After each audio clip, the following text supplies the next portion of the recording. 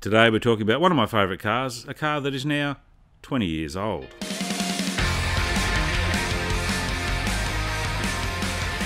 The car we're talking about is the Audi TT Coupe, a beautifully designed, stylish car that just exudes grace and presence.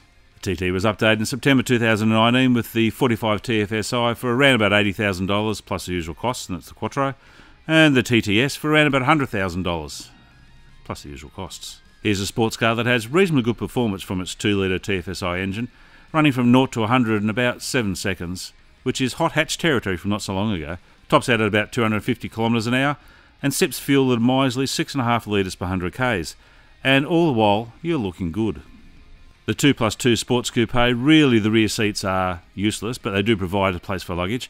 But the large liftback boot provides excellent access to a good area if you want to head away for a weekend with more than an overnight bag.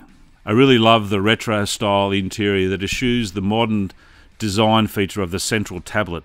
It's that old school sports car with everything you need in the dash in front of you with the virtual cockpit from Audi as well. In a world that often overplays design, the Audi TT provides subtle sophistication that I absolutely love. This is the Motoring Minute. I'm Rob Fraser.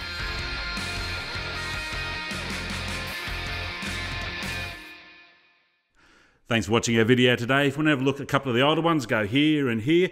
Go below for the full review and our website. And don't forget to like and subscribe us. Thanks for joining us. We'll see you next time.